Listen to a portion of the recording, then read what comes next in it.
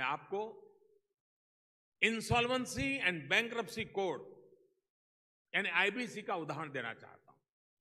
साथियों, हमारे देश में कर्ज को लेकर एक अजीब सी परंपरा थी कि कोई गरीब या निम्न मध्यम वर्ग का व्यक्ति एक लाख का कर्ज बैंक ले और उसे लौटा न पाए तो उसका बचना मुश्किल हो जाता था।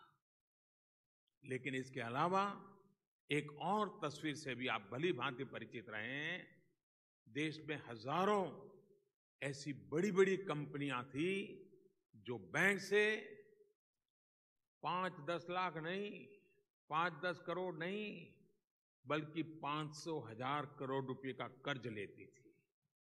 लेकिन अलग अलग वजह से जब ये कंपनियाँ बीमार पड़ती थी, घाटे में चली जाती थी बैंकों का पैसा नहीं लौटा पाती थी तो इन कंपनियों को और इन कंपनियों के मालिकों को कुछ नहीं होता था। साथियों, आज़ादी के बाद से, सत्तर साल से देश में यही व्यवस्था चली आ रही थी। जानते हैं ऐसा क्यों था? ऐसा इसलिए था क्योंकि इन कंपनियों को एक खास तरह का सुरक्षा कवच मिला हुआ था। एक ऐसा सुरक्षा कवच जिसमें कुछ खास लोगों, कुछ खास परिवार के निर्देश चलते थे। ऐसा सुरक्षा कवच था जो बैंकों को कार्यवाही से रोकता था, जो कंपनियों को भी प्रोत्साहित करता था कि क्यों लौटाओ बैंकों का पैसा, कौन आपसे पैसे मांगने आ रहा है। भाई और बहनों, मुझे पता कि कितनी दिक्कतें आई, किस तरह के दबाव का सामना करना पड़ा। लेकिन 2016 में इनसॉल्वेंसी एंड बैंक कोड बनाकर मैंने इस सुरक्षा चक्र को तोड़ दिया है। आज मैं गर्व से कह सकता हूँ कि बैंकों से कर्ज लेकर बैठ जाने वाले, बीमार कंपनी के बहाने देश का हज़ारों करोड़ों रुपया लेकर बैठ ऐसे लोग, ऐसी कंपनियाँ खुद अपना पैसा लौटाने के लिए आगे आ रही है। भाइयों और बहनों, सिर्फ़ दो साल में अब तक सवा लाख करोड़ रुपए खुद चलकर ऐसी कंपनियों ने बैंकों को और अपने देनदारों को लौटाया है। इसमें से बहुत सारी राशि छोटे सप्लायर्स की थी, छोटे उद्यमों की थी, एमएसएमई सेक्टर की थी।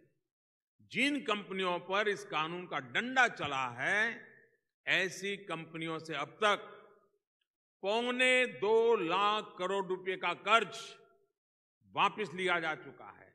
यानी एक तरह से देखे तो 2016 में जो नया कानून बनाया, उसके बाद करीब करीब तीन लाख करोड़ रुपए का कर्ज इन करोड़पतियों ने इनकी कंपनियों ने अपने बैंकों को, अपने देनदारों को चुकाने के लिए मजबूर होना पड़ा है और पैसे देने पड़े हैं और ये प्रक्रिया आज भी जारी है।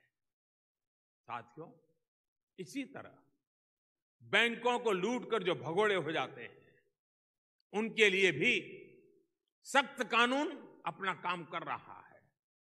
अब देश में ही नहीं विदेशों में भी ऐसे अपराधियों की संपत्ति कुर्क हो रही है। ऐसे तमाम अपराधियों को दुनिया के किसी भी कोने में छुपने की जगह न मिले, इसके लिए ये सरकार प्रतिबद्ध है। साथियों, भ्रष्टाचार को भारत में न्यू नॉर्मल मान लिया गया भारत में ये तो चलता ही है। अरे, इतना तो चलता ही है। अगर कोई सामने से आवाज़ उठाता था तो नियम की, कायदों की याद दिलाता था तो सामने से तुरंत जवाब मिलता था कि ये भारत है, यहाँ ऐसा ही चलता है। ऐसा क्यों चलना चाहिए? कब तक चलना चाहिए? स्थिति को वैसा ही क्यों रहना चाहिए? ऐसी स्थिति को बदलना क्यों नहीं चाहिए? साथियों, पिछले साढ़े चार साल में मैं ऐसी स्थिति को बदलने का प्रयास कर रहा हूँ। देश को पीछे ले जाने वाली, बंदिशों को तोड़ने का काम कर रहा हूँ। कुछ लोग देश को भ्रमित करने में जुटे हुए हैं, लेकिन मुझे सत्य की शक्ति पर भरोसा है और सत्यनिष्ठ देशवासियों पर मेरा भरपूर भरोसा है।